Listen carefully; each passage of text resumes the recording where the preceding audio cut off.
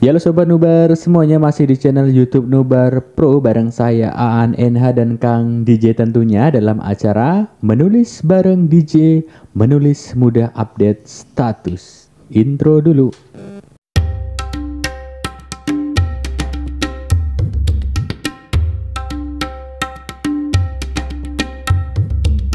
Ya buat Sobat Nubar yang sudah nonton acara ini jangan lupa untuk subscribe, like, komen, dan share serta aktifkan loncengnya untuk mendapatkan konten-konten lainnya. Seperti itu. Ya, baik Kang. Lanjut ke pembahasan kita kali ini tentang materi sastra Iya, yaitu benar. tentang pantun Carmina. Benar sekali kan. Baru dengar saya Kang. Benar. Ini udah berapa lama ini Kang? Pantun Carmina sejak kapan ini? Udah lama Kang, karena pantun itu termasuk puisi lama ya. Oh, iya sih. Oh, iya, iya, betul jadi sih. nah Carmina ini adalah bagian dari puisi. Eh maaf, Hmm, Carmina pantun. bagian dari pantun. Itu pantun itu kan eh, puisi lama. Nah, di dalam pantun itu ada beberapa jenis pantun. Oh, masih salah satu ada- adalah iya. Nah, salah satu adalah Carmina, Carmina, ini. ya. Carmina adalah pantun pendek, Kang. Pendek, ya. pantun singkat. Nah, misalnya beri contoh misalnya gini. Eh, ma- makan bakwan nenteng komputer. Mm-mm. Aan ganteng dan juga pinter. Nah, seperti gitu. Jadi Atau gini, ganteng doang jemput cewek depan gang. Itu pantun bukan? Hah? Gimana? Enggak. Enggak itu yang sempat viral, yang sempat Gimana, viral. gimana itu gimana, Kang? Ganteng doang jemput cewek di depan gang gitu.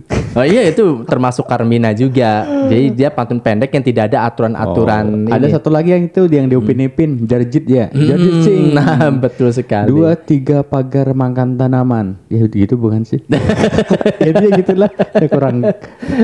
Oh itu termasuk dari Benar, pantun Carmina. bagian dari pantun Carmina tersebut. Tapi mana istilah eh, Carmina, jujur saya baru Hmm. pertama kali ini dengar. Kadang memang jarang di ini ya, jarang ada di eh, silabus atau di kurikulum itu Mm-mm. tidak tidak dikupas tentang disinggung juga Iya. kayak hanya waktu saya- pantun saja Hmm, yang saya waktu di ini. sekolah dulu juga nggak ada sih cuman pantun aja pantun udah. aja ya. Iya. Makanya di Nubar Pro bersyukur ya ada Nubar Pro ini sekali. memberikan pencerahan ilmu-ilmu yang sudah terpendam akhirnya terkuak kembali dan kita tersadar. Oh, ternyata selama ini jari itu bukan asal-asalan berpantun.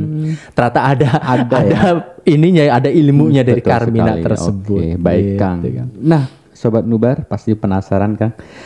Pantun Carmina itu apa? Kemudian nanti ciri-cirinya dan contoh-contohnya seperti apa dan bagaimana? Minta aja kan? Saya Sudah nih, langsung Ah, nih berarti. aja. Iya, baik terima kasih Kang. An. Eh, Sobat Mubar, kali ini saya akan menjelaskan tentang masalah pantun. Pantun ada termasuk pada puisi lama, yaitu salah satu dari pantun ini ada beberapa cabang pantun dan jenis-jenis pantun eh, yang akan kita kupas adalah pantun Carmina. Artinya adalah pantun yang pendek atau pantun yang sangat singkat, Kang. Jadi di Carmina ini tidak lagi menggunakan aturan-aturan yang harus 8 sampai 12 suku kata seperti itu. Eh, harus A B A B Oh, misalkan. Nah, kalau di Carmina ini adalah hanya ada isi ada sampiran ada isi. Itu aja yang yang ininya.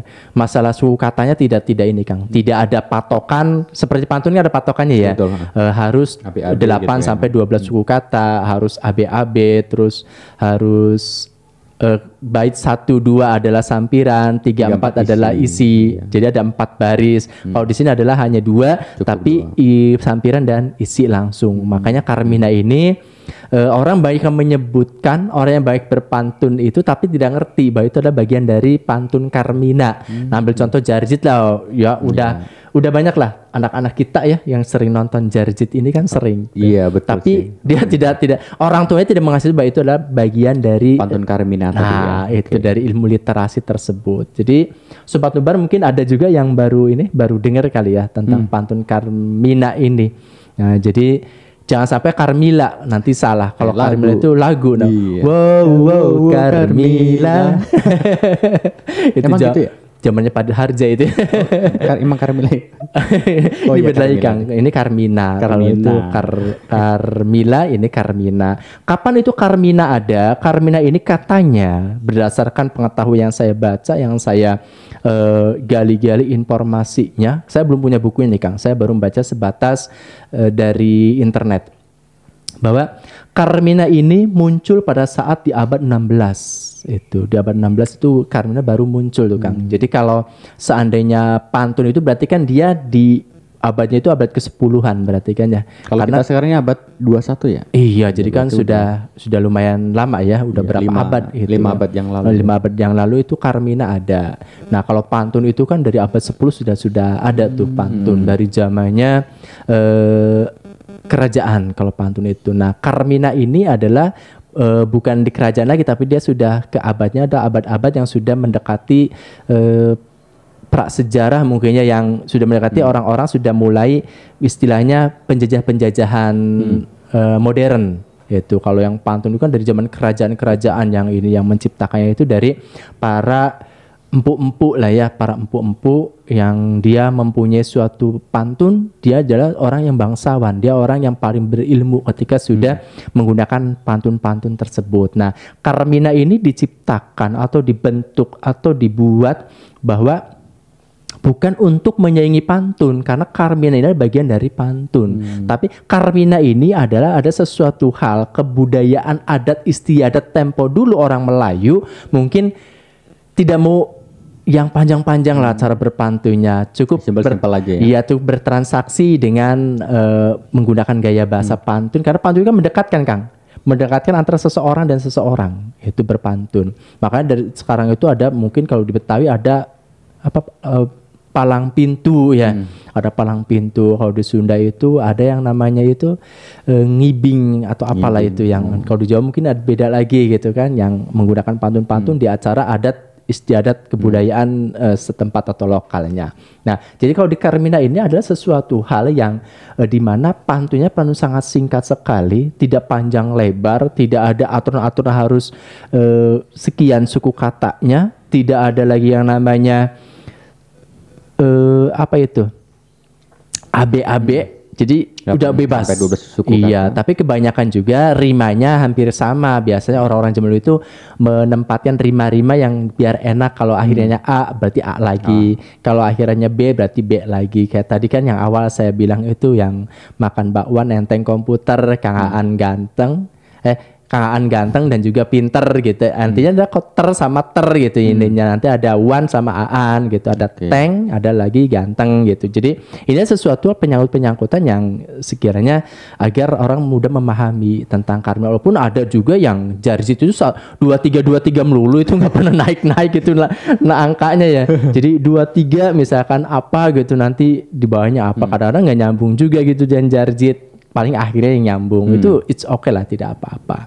Itu ya karena namanya Carmina ini adalah sesuatu hal pat- pantun yang sebuah lelucon sebuah eh, pantun singkat yang dia nggak mau ribet lah dengan aturan-aturan yang sudah di yang sudah dibakukan harus seperti seperti tidak. Tapi itu udah udah enak lah untuk untuk orang-orang zaman itu gitu cara berpantunnya berpantun yang bebas yang dia itu sesuka hati yang penting maksud dan tujuan dia adalah tersampaikan apa yang dia rasakan apa yang dia ingin disampaikan melalui sebuah pantun yaitu berbu- berbentuk pantun Carmina nah coba kita langsung pada ini ya Kang pada apa Contohnya? pada contohnya Oke. dengan Carmina ini coba Iya, Mas kita editor lihat di contoh aja. Kang An bisa dibacakan mungkin contoh-contoh boleh. ininya Siap.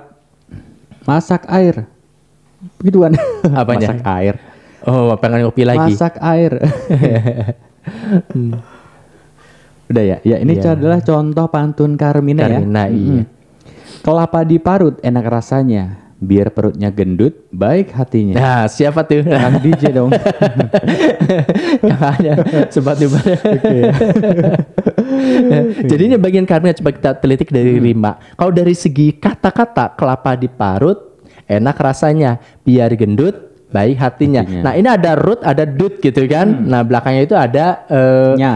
nya dan Nya. eh, nah nyahnya lagi di sana. Jadi ini ada ada persamaan-persamaan bunyi suatu bunyi dari mulai sampiran baris dan pertama sama isi. baris iya kedua walaupun ya. Hmm. itu tidak tidak penting tapi ini menyangkut sebuah etika biasanya seperti ada etika nih lebih menarik ya. Iya, lebih menarik lagi jadi ada sesuatu ketukan-ketukan bunyi yang ketika sampiran itu di sisi mana ada sebuah akhiran juga Hmm. harus hampir sama walaupun tidak tidak dipatenkan ke sana yang paten itu adalah biasa di rima rima itu di akhir bunyi akhirnya coba kan yang kedua eh, Oke. ininya dibatnya yang keduanya Ikan lele beli di pasar. Persoalan sepele jangan diumbar. nah itu ada lele ada Sar pasar. pasar diumbar. Eh, Di pasar. sepele Kang. Kalau lele itu dengan sepele Ya. biasanya itu ya ada lele, ada sepele, ada pasar dan diumbar itu ada ar-ar. Nah ini sesuatu hal bahwa dia ini ingin memberikan sesuatu hal eh, penyampaian maksud dan tujuan. Artinya dia menyindir Kang. Iya. Tapi dengan cara majas, dengan cara halus, dengan cara sopan santun sehingga orang yang disindirnya itu tidak langsung sakit hati. Nggak langsung baper ya. Iya. Dan zaman sekarang kan pakainya baper, gitu ya. Nah, kalau zaman dulu itu pakainya menggunakan Carmina. Coba ada lagi Kang ininya eh, Nah, ini lebih contoh dari Carmina-nya apa lagi Kang? Tiada umat sepandai Nabi, Hmm. turutlah ilmu sebelum mati. Nah, ini ada iya akhirnya dia, dia, dia i. Ini mungkin pantun untuk petua, nasihat. ya, nasihat. biasanya itu nasihat-nasihat yang diberikan oleh orang tua atau seorang guru atau seorang ustadz pada muridnya seperti itu. sekali. Jadi eh, di sana sehingga si murid itu ketika dikasih sesuatu hal petua berbentuknya karmina, dia mungkin akan lebih mudah nangkapnya, Kang.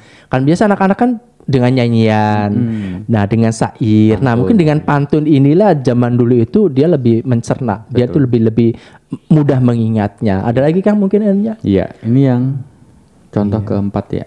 Tas hitam di atas meja, saya cakap siapa yang punya hasil. Nah, kalau ini kan nggak nggak enggak ya, dia hanya dirima menekankan Dirima, pada rima. AA ya. Itu iya, meja sama punya kalau Tapi tas nggak- hitam. nggak harus kiasan juga ya baris pertama Kang ya. Enggak juga, Kang. yang Kayak- penting dia sopan kayak sih. yang contoh yang Nabi tadi, Mm. yang ketiga. Nah ini kan bukan Iya. kiasan ya. Iya, tidak tidak tidak selalu hiasan tapi biasanya dengan majas itu orang lebih Sama lebih menikmati terima gitu. AA Atau ya. ada satu yang terakhir barangkali kan bisa Oke. Oh, disebutkan. Nah, mungkin ini yang terakhirnya. Akhirnya limau purut di tepi rawa, sakit perut sebab tertawa.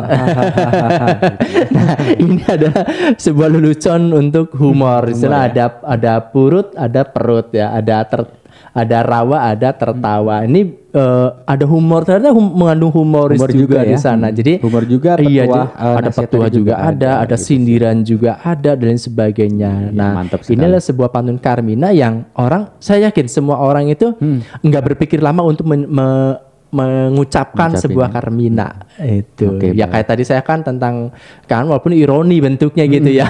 Bukan majas ironi gitu kan kaan ganteng gitu kan dan pinter itu aslinya ya sebuah tempat tahu sendiri lah nanti ada di ada Itu fakta. Oh, bukan ironi ya. Oke, baik ya. Demikian penjelasan kita kali ini mengenai pantun Karmina bahwa pantun merupakan salah satu jenis puisi lama Iya, di mana pantun ini tidak terikat oleh apa tadi Kang? Tidak terikat oleh aturan, suku Aturan kata Hmm. suku kata dan sajaknya itu pun AA baris pertama sebagai sampiran. baris keduanya Isi. gitu. Mungkin buat sobat umbar juga pasti bisa bikin ya Kang ya. Iya benar Oke, sekali. Iya demikian untuk eh, pembahasan kita kali ini. Terima kasih buat sobat Nubar yang sudah nonton. Jangan lupa untuk subscribe-nya, like-nya, dan komennya serta aktifkan lonceng di bawah ini untuk mendapatkan konten-konten lainnya. Jangan ke mana-mana karena kita bakalan bahas lagi di sesi selanjutnya. Terima kasih dan wassalam.